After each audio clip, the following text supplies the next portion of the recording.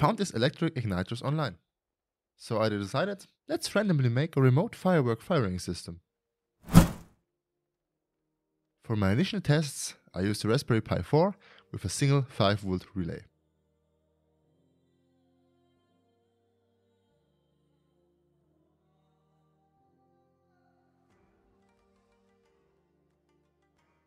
I wrote a simple little Python script that switches the relay once on execution.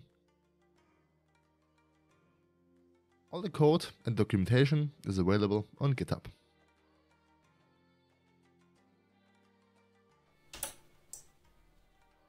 Now I test if these electric igniters even go off on 9 volts. I crafted myself an adapter for the 9 volt battery to breadboard pins.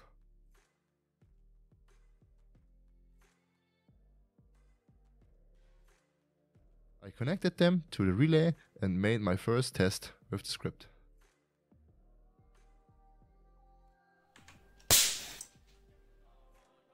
After a successful test, I added a 4-time relay board and connected them to the GPIO pins of the Raspberry. I made a little socket to easily plug in the igniters. I decided it will now be time to create a little mock-up of the UI I can connect to the Raspberry Pi. I took some inspiration of the image I showed at the beginning. After I was happy with the mockup, I wrote some little server magic with PHP and Python to connect the HTML and JS UI to the Pi. It can control every channel individually or all at once. For some protection, I added a button that now is simulated by a jumper wire that can disable the launching.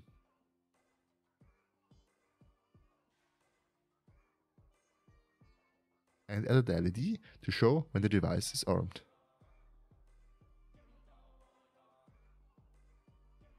Before I make my first firework test, I tested the whole device in its end configuration running on a power bank and connected to my laptop.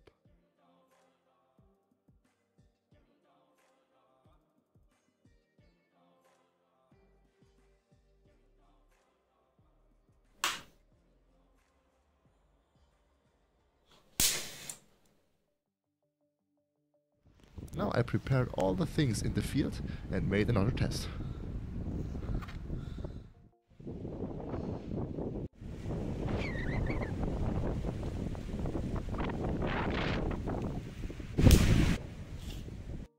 Now it's time to let the firework explode.